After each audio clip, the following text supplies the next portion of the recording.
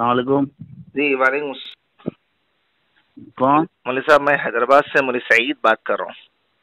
जी। हज़रत मौलाना से बात हो सकती? जी। अलैक्म जी वालेकुम सलाम मौलाना खैरियत मौलाना। अल्हम्दुलिल्लाह ईद है? बस खैरियत से मौलाना ईद की मुबारकबादी की दुआ के लिए फ़ोन कर लिया था अल्लाह ताला मुबारक करे। कल ही मुझे आपका तस्वुर आया था। जी साहब शहीद है दलाल अली का। जी और क्या खबर है?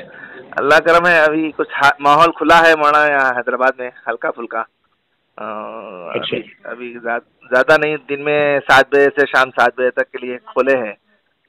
अच्छा। अल्लाह आसान करे। मसाजिद का क्या हाल है? मसाजिद बंद है साहब मसाजिद बंद है बस पाँच पाँच छः छः आदमी ही आज ईद की नमाज़ पढ़े हैं। हम भी हमारे घर के छत पर नमाज़ पढ़े हैं बहुत सारे लोग आ गए थे। अच्छा। जी मसाजिद बंद है। जी। हम्म। सुना इस मरतबा आप एहतिकाफ भी नहीं बैठे? एहतिकाफ आप नहीं बैठे सुना इस साल। अच्छा। नहीं आप आप एहतिकाफ एहतिकाफ नहीं बैठे शादी जी। मैंने एहतिकाम नहीं किया इस साल। मैं तो घर पर ही रहा हूँ। जी जी जी जी।